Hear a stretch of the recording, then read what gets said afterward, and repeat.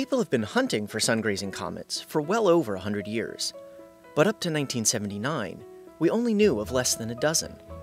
As of 2020, we have seen around 4,000 sun-grazers. Why did the number increase? The answer lies along the route most sun-grazers follow. In the late 1800s, Heinrich Kreutz observed that a few recent comets traveling near the Sun appeared to follow the same orbit. On this Kreutz sungrazer path, as we've come to call it, it takes the comet several hundred years to complete one loop around the Sun. While there are other orbits of sungrazers, Kreutz comets are the most common. All of the comets in this orbit came from a single comet that fell apart near the Sun thousands of years ago. As the comet moved closer to the Sun, the ice binding it together evaporated, breaking it into smaller pieces that the Sun's gravity pulled apart. Every time a comet comes around the Kreutz path, this can happen again, resulting in a new generation of comets.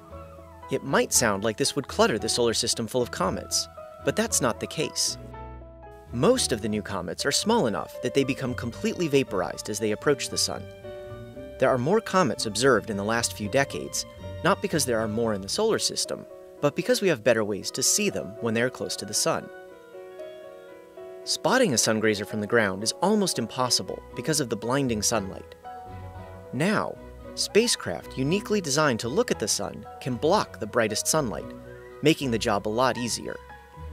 Since the joint ESA-NASA mission SOHO launched in 1995, it has shown us thousands more comets than any tool before it. With SOHO, we can now see the smaller, fainter comets close to the Sun, just long enough to add them to our list of sungrazers before they vaporize. The spacecraft's data is available online, so now anyone can discover a comet. Roughly 95% of these comets have been found by amateur astronomers. SOHO isn't the only sun-observing spacecraft to have surprised us with beautiful images of comets. NASA's Solar Dynamics Observatory has spotted sungrazers too, though less frequently than SOHO. Now that we can observe comets better than ever, who knows? Maybe you will spot the next sungrazer.